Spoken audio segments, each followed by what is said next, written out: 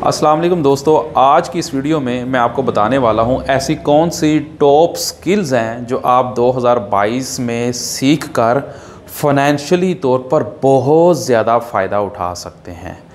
इन skills को बताने से पहले मैं आपको कुछ बिज़नेस की अप्रोचेस के बारे में बताऊँगा। एक क्लासिकल अप्रोच होती है बिज़नेस की उसकी मिसाल आप इस तरह ले सकते हैं कि अगर किसी ने एक दुकान ओपन करनी होती है, दुकान खोलनी होती है तो उसके लिए क्या रिक्वायरमेंट्स हैं? वो एक दुकान की एक लोकेशन देखते हैं, फिर उसके बाद रेंट पे दुकान ले लेते हैं, उसके बाद स्टाफ हायर करते हैं, दुकान को रेनोवेट करते हैं इन्वेंट्री मेंटेन करते हैं, जो प्रोडक्ट उन्होंने सेल करनी होती है, और उसके लिए शायद उनको पीछे बैकेंड पे वेयर हाउस भी लेना पड़ता है। फिर उसके साथ साथ मार्केटिंग का स्टाफ हायर करना पड़ता है, जो मार्केटिंग का स्टाफ जो डोर टू डोर आपकी दुकान के बारे में या आपकी प्रोडक्ट्स के बारे में एक कंपेन को चलाता है। इसके साथ साथ आपको खुद पूरा दिन 12 या 14 घंटे अपनी दुकान में काउंटर के ऊपर कैश काउंटर पे खुद बैठना पड़ता है। उसकी रीज़न ये भी हो सकती है कि आपको शायद अपने एम्प्लॉयज़ के ऊपर एतबार नहीं होता। जबकि अगर हम आज के दौर में डिजिटल बिज़नेस की बात करते हैं तो ये टोटली क्लासिकल अप्रोच से थोड़ा डिफरेंट है। वो इस तरह कि आपको फिज़िकली दुकान की लोकेशन देखने की ज़रूरत शायद अब नहीं पड़ती, क्योंकि आप ई स्टोर्स आप इंटरनेट के ऊपर अपने स्टोर्स को ओपन करते हैं। उसके लिए बहुत से प्लेटफॉर्म्स अवेलेबल हैं शॉपिफाई ईबे अमेज़ोन और दराज है।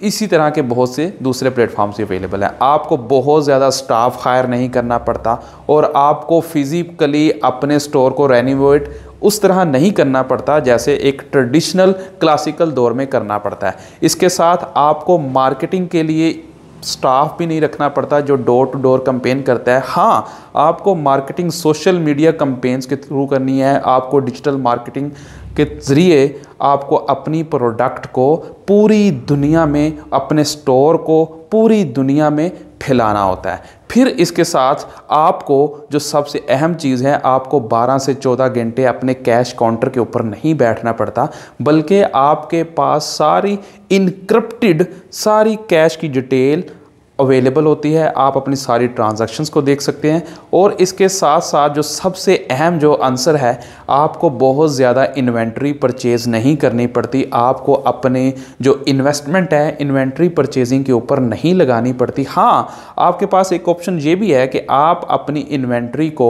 अपने वेयर हाउस में रखने की ज़रूरत नहीं है। आप एक थोड़ी सी इन्वेंट्री ड्रॉप शिपिंग मेथड के थ्रू ये जो ई दराज या अमेजोन इस जैसे प्लेटफॉर्म्स हैं, आप वहाँ पर उनके वेयर हाउसेस के ऊपर थोड़ी माइनर पेमेंट अदा करके रख सकते हैं।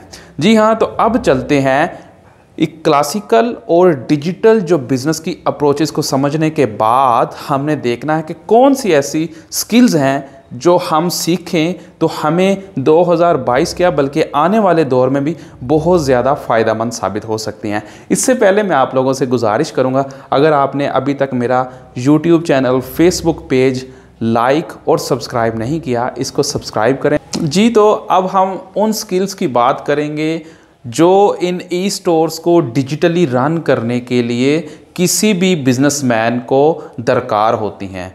जिसके लिए उसको स्टाफ की ज़रूरत होती है जो ये सर्विसेज़ प्रोवाइड कर सके। सबसे पहली जो सर्विस है, वो ये है कि इन ई स्टोर्स को बनाने के लिए मोबाइल ऐप्स की ज़रूरत पड़ती है वेबसाइट्स की ज़रूरत पड़ती है। इन मोबाइल ऐप्स और इन वेबसाइट्स को डेवलप करने के लिए डिवेलपर्स होते हैं। जो कि वेबसाइट्स को डेवलप करते हैं और मोबाइल ऐप्स को बनाते हैं। अगर आप ये स्किल्स सीख लेते हैं तो आप अपने घर बैठे ना सिर्फ़ पाकिस्तान, बल्कि पूरी दुनिया में वेबसाइट डेवलपर की सर्विसेज़ देकर सॉफ्टवेयर डेवलपर की सर्विसेज़ देकर बहुत अच्छी इनकम कमा सकते हैं। दूसरी जो स्किल है, वो ये है कि इन ई स्टोर्स को रन करने के लिए सर्वर एडमिनिस्ट्रेटर्स की ज़रूरत होती है। सर्वर एडमिनिस्ट्रेटर्स क्या करते हैं? वो साइबर सिक्योरिटी की सर्विसेज़ देते हैं, वो क्लाउडिंग स्टोरेज की सर्विसेज़ देते हैं, और वो इस तरह की दीगर सर्विसेज़ देते हैं। अगर आप ये स्किल सीख लेते हैं तो आपको बहुत ज़्यादा फ़ायदा हो सकता है। तीसरी और सबसे अहम जो स्किल है, वो ये है कि कन्वेंशनल बिज़नेस के अंदर आपको अपनी दुकान को रेनोवेट करने के लिए शेल्व्स वगैरह मेंटेन करने के लिए बिल बोर्ड्स लगाने के लिए पेनाफिक्स लगाने के लिए आपको एक डिज़ाइनर की या एक कन्वेंशनल ग्राफिक डिज़ाइनर की ज़रूरत होती थी। लेकिन डिजिटल ई स्टोर्स के ऊपर एज सच उस डिज़ाइनर की ज़रूरत नहीं होती, बल्कि एक डिजिटल डिज़ाइनर की ज़रूरत होती है, एक वीडियो एडिटर की ज़रूरत होती है, एक ग्राफिक डिज़ाइनर जो इंटरनेट के ऊपर मौजूदा ट्रेंड्स के मुताबिक आपके ई स्टोर को रेनोवेट कर सके, आपकी शेल्व्स को एक अच्छी लुक दे सके। अगर आप ये स्किल सीख लेते हैं तो आपको बहुत ज़्यादा फ़ायदा हो सकता है।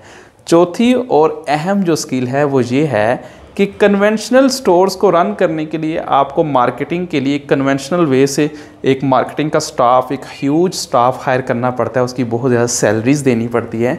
लेकिन डिजिटल स्टोर्स के ऊपर एज सच उस स्टाफ की ज़रूरत नहीं होती, बल्कि सोशल मीडिया मार्केटर्स की ज़रूरत होती है डिजिटल मार्केटर्स की ज़रूरत होती है सर्च इंजन ऑप्टिमाइज़र्स की ज़रूरत होती है। जो ये सर्विसेज़ स्किल्स सीख लेते हैं, वो ना सिर्फ़ पाकिस्तान, बल्कि पूरी दुनिया में अपने घर बैठे बहुत अच्छी इनकम कमाते हैं। और जो पांचवी स्किल है, वो ये है कि अगर आप अपना स्टोर अगर कोई भी अपना स्टोर डिजिटली रन कर रहा है तो उसको अपनी जो प्रोडक्ट्स हैं, अपनी इन्वेंट्रीज़ हैं एज सच मेंटेन नहीं करनी पड़ती, बल्कि उनको ड्रॉप शिपिंग या दूसरी जो सर्विसेज़ हैं, उसके थ्रू अपनी इन्वेंट्रीज़ को इन दराज या ईबे या अमेज़ोन के स्टोर्स पर अपनी प्रोडक्ट रखनी होती हैं। इसके लिए ड्रॉप शिपिंग के लिए वर्चुअल असिस्टेंट्स की ज़रूरत होती है, जो कि अपने घर बैठे इंटरनेट के ऊपर बहुत ज़्यादा पैसा कमा रहे होते हैं। इसके अलावा आफ्टर सेल सर्विसेज़ हैं और कस्टमर्स को अप्रोच करने के लिए वर्चुअल असिस्टेंस और जो मैसेजिंग मैसेजिंग के लिए मैसेंजर्स के ऊपर जो सर्विसेज़ प्रोवाइड करते हैं ईमेल्स के ऊपर सर्विसेज़ प्रोवाइड करते हैं व्हाट्सएप के ऊपर सर्विसेज़ प्रोवाइड करते हैं, इस तरह की जो स्किल्स हैं, अगर आप सीखते हैं तो आपको बहुत ज़्यादा फ़ायदा हो सकता है। आज की वीडियो आपको कैसी लगी और ये स्किल्स कैसी हैं, वाकई यूनिक हैं या वाकई नहीं? इसके बारे में कमेंट्स में मुझे बताइएगा। अल्लाह हाफिज़।